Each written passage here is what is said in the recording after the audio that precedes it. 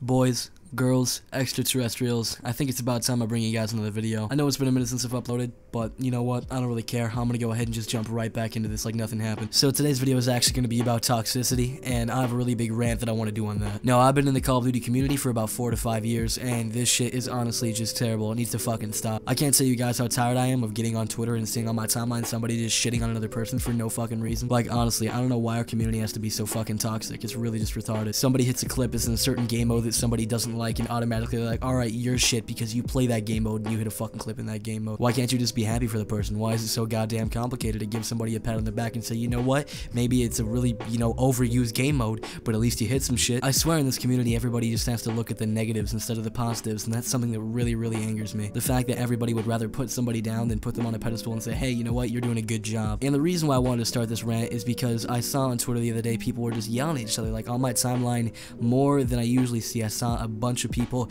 just shitting on each other for no fucking reason. Like, you hit a clip in this game mode, oh, well, it's not fucking usable. Oh, you know, you're doing this or that, you know, you're a fucking bitch, you know, I'm gonna block you and blocking you off of all this shit, and I won't even talk to you. Like, people are just throwing fucking temper tantrums all over my timeline, and honestly, I'm just sick of fucking seeing that shit. Now, don't get me wrong, I'm fully aware of the fact that this video is probably gonna have little to no effect on Twitter at all, the way my timeline looks or anything like that, and really, if I wanted to, I could just unfollow the people that are being all fucking cringy and hating on everybody and not being positive, but really, I have a lot of people that I like, I have a lot of people that are friends that are just really fucking negative all the time, and some of those motherfuckers like to watch my videos, so if you think that you fit the profile of somebody who's just constantly fucking negative, fuck off. I want to try and leave all the negativity that I've created in 2017, and I want to start 2018 with a brand new fucking, you know, just amazing year. I want to have that year be a great year, and I just want to have a lot of fun in 2018, and I feel like that's where I'm really going to grow my channel. That's when I'm really going to make a lot of moves, and I know I said a lot of that in 2017, but 2018 is going to be the year that I actually follow through with that shit. With that being said, if you're a friend of mine and I see you constantly being toxic to somebody, just don't bother fucking talking to me. Really, I just don't fuck with negativity. Now, jokes, I don't really give a shit about jokes. Everybody jokes, I joke.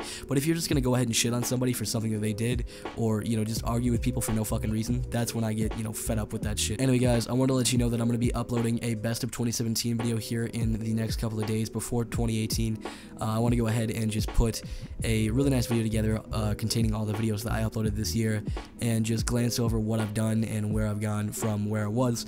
And, you know, I just think it's going to be a lot of fun to make that video. I'm sure a lot of you guys were wondering where I was. Let's just say I went on a little hiatus because I wanted to pursue something that really didn't work out, or I really realized that I could do both of the things that I wasn't going to do.